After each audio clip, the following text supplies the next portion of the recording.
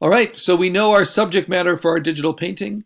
We've done at least kind of three thumbnails to figure out how we want to um, compose it and position it. And the next phase is how to build this into a painting.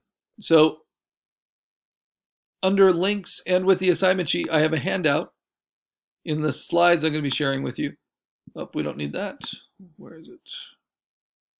And that handout shows how a digital painting is built up differently than digital coloring, right? So digital coloring was all about getting clean line art and then coloring behind the lines until we replaced the line with color if you wanted to do a color hold. But even but the finish always has kind of a, a real or implied outline that the color is behind. A digital painting is different.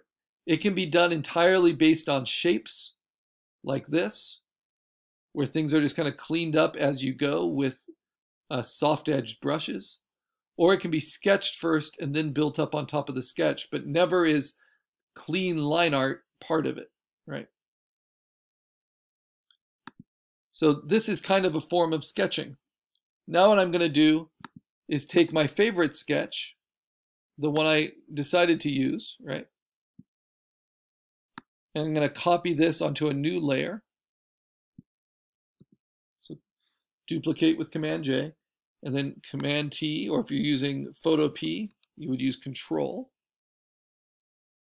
Control J to duplicate. And I'm going to make it kind of big, right? Then I'll hide the thumbnail layer, and then I'll dim my sketch really low. And then lock it. So there's my heather. There's my doggy. In order to view it within Photoshop, if we're lucky enough to have Photoshop, instead of having to view it on an outside program, what I can do is take that image and bring it into Photoshop.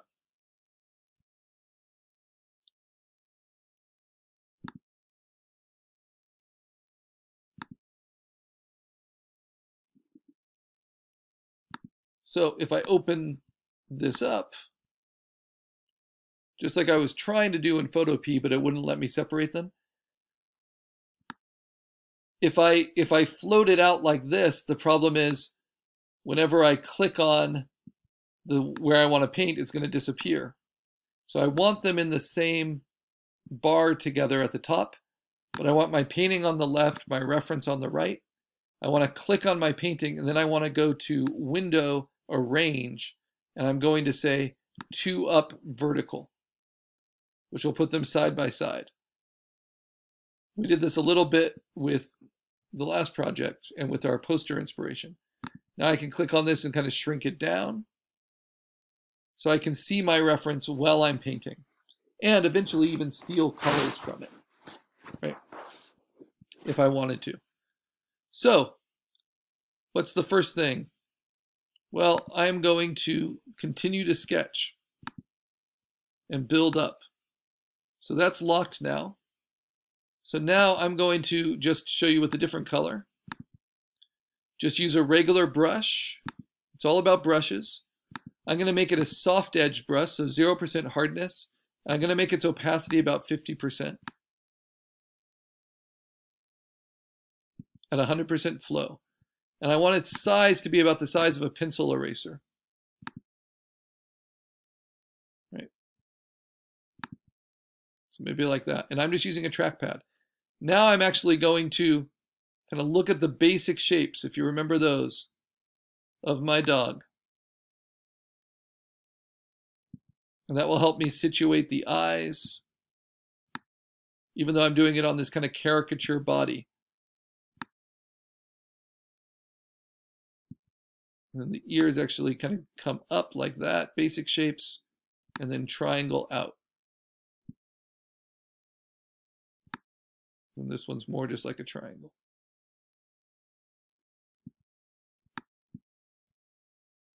So the basic shapes.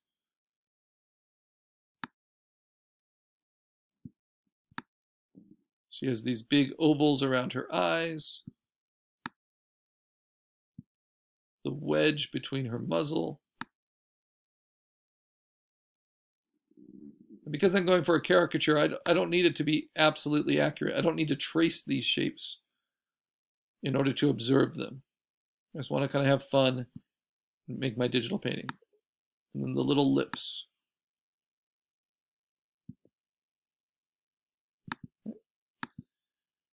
Now I might get to the body later, right? Because obviously this body is going to be different. So that's step one. And it's similar to this step right here for this apple, though I did it soft edged, not to look like pencil. So the next step is what's called local flat color, or just sketching in the color, sometimes scumbling. And for that, I'm going to build a brush. And I'm going to build it on top of my sketch. So Right now, I'm going to change my brush to just being a hard edge brush, 100%, same size, opacity 100. And then I'm going to create a new file in Photoshop. You can do this in Photopea too. And I'm going to make it pixels, and I'm going to make it 1,000 by 1,000 pixels, so a square. Doesn't matter the resolution. It's going to be 1,000 by 1,000 pixels. I'm going to call it um, my SP20, my spring 2020 brush demo. So now I have a new file open, right? I shrink my brush size a little bit. And now I'm just going to start making a design kind of at a 45 degree angle. This is how I make brushes. I'm doing it with my trackpad but I want it to look pretty random. And I'm not trying to touch the square. It's like a spot illustration. I'm making a little kind of cartoon jumble. And I can vary my line weight. You know, some thicker lines. You can see how this helps. Some thinner lines. Solid black. Scribbly, scribbly, scribbly. If you have a tablet, go ahead and use a tablet. Pressure sensitivity is very nice with the stylus for digital painting. Many would say it's required, but I'm going to try to show you that it's not.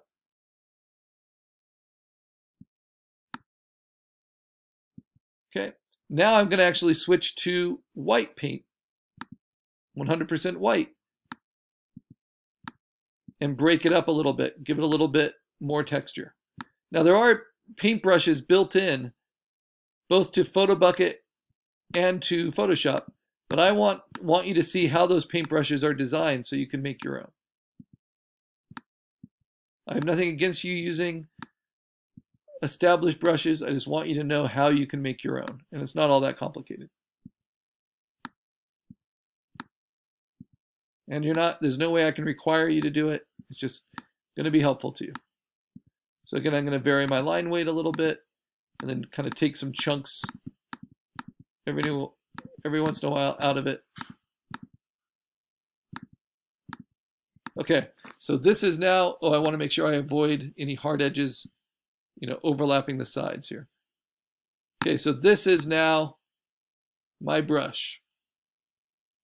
So how do I save it? I go to, within Photoshop, I go to Edit, and I say define brush preset. And then I name it.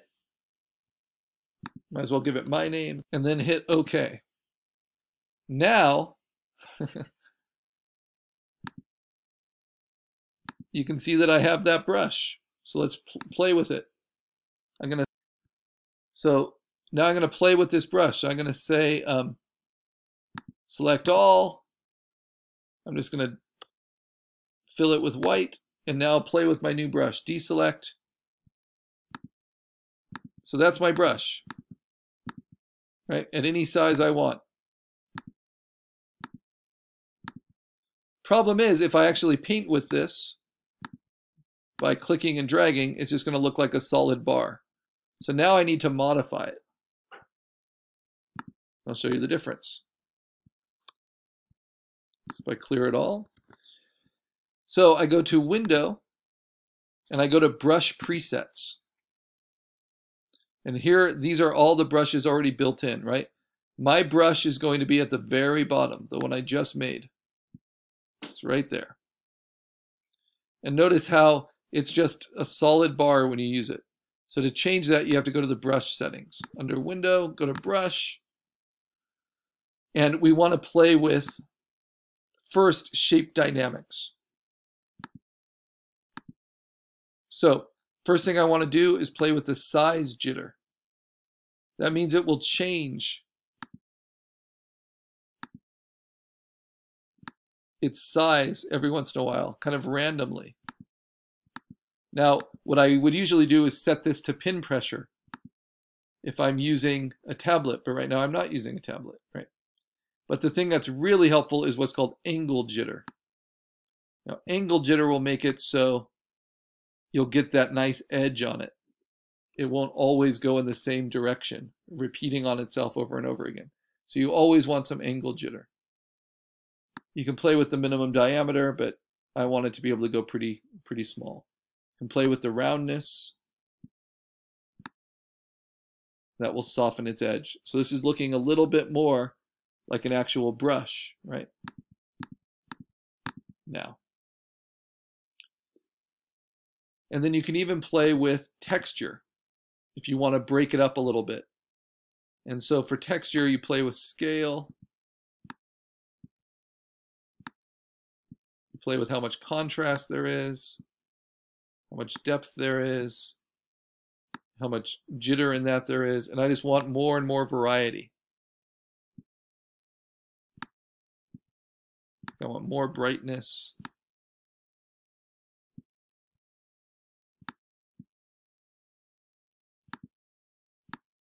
There we go. See, it's giving me a little bit more power on the edge there.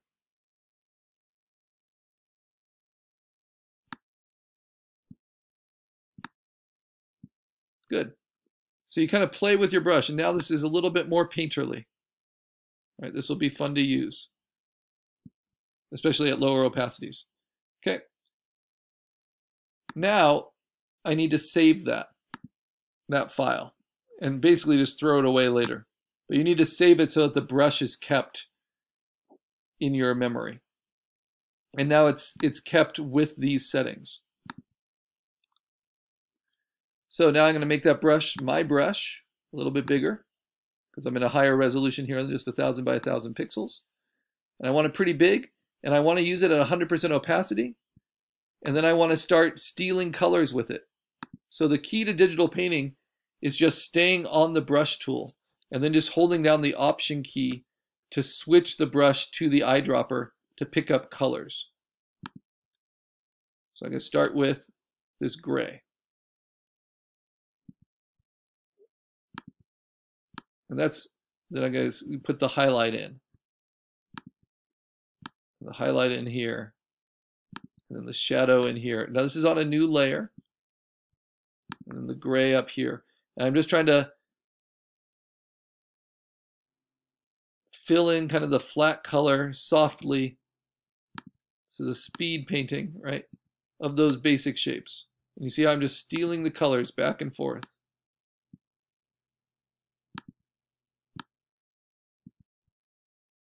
And any whites you paint, you want to put in. Right? The problem is, if you're on a white background like I am, it's hard to see that when you're painting white. So I'm going to replace this white background with a gray background pretty soon here. So I get a little bit more of this.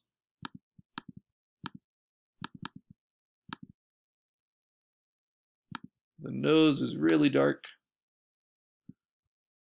You can cut in around it.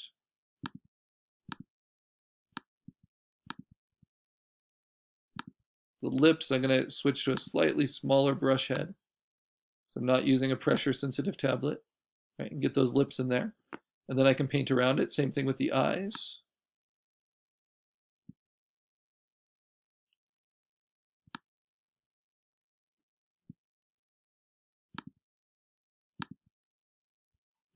I want a little bit of highlight in there.